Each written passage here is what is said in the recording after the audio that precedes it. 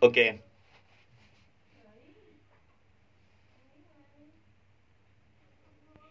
Nhất trình nào cũng khởi đầu bởi ánh bình minh.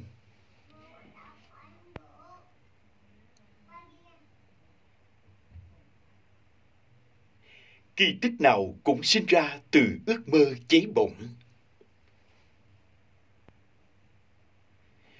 Chúng tôi trân trọng hành trình ngàn dặm từ những cây số đầu tiên. Trân trọng những ước mơ dù là bé nhỏ.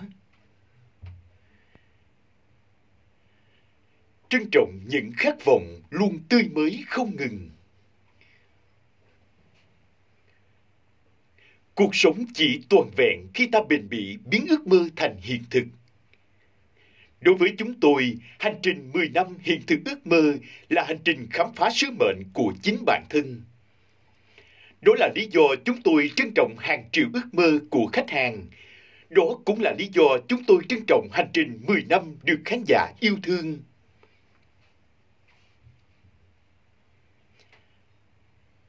AVG tri ân 10 năm hành trình chấp cánh ước mơ. Cho thêm một option ha anh. Ok.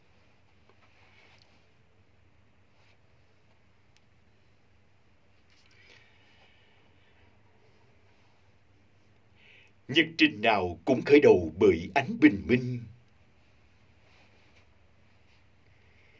Kỳ tích nào cũng sinh ra từ ước mơ cháy bỏng. Chúng tôi trân trọng hành trình ngàn dặm từ những cây số đầu tiên. Trân trọng những ước mơ dù là bé nhỏ. Trân trọng những khát vọng luôn tươi mới không ngừng. Cuộc sống chỉ toàn vẹn khi ta bền bỉ biến ước mơ thành hiện thực. Đối với chúng tôi, hành trình 10 năm hiện thực ước mơ là hành trình khám phá sứ mệnh của chính bản thân. Đó là lý do chúng tôi trân trọng hàng triệu ước mơ của khách hàng. Đó cũng là lý do chúng tôi trân trọng hành trình 10 năm được khán giả yêu thương.